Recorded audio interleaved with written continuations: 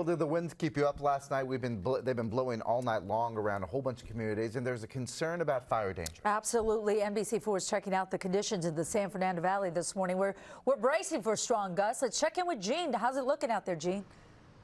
Hey, good morning, Mekahlo and Michelle. Well, we can say that it's been breezy this morning. Uh, it hasn't been a, a, huge problem, though, but that could all change when we're talking about gusty winds all through today. Now, that's because of some possible fire dangers. Take a look at this video. Uh, overnight, we've been monitoring the situation uh, here in the San Fernando Valley, as well as the different areas. There's a huge warning from the National Weather Service. They expanded their red flag warnings through 10 o'clock tonight. That's quite a bit of time. LA and Ventura counties, plus San Fernando and Santa Clarita valleys also impacted. They're worried if new fires ignite today, winds could spread fire rapidly, cause those extreme conditions. This morning, CHP also issued a wind advisory. That's along the 405 and the 118 in Granada Hills.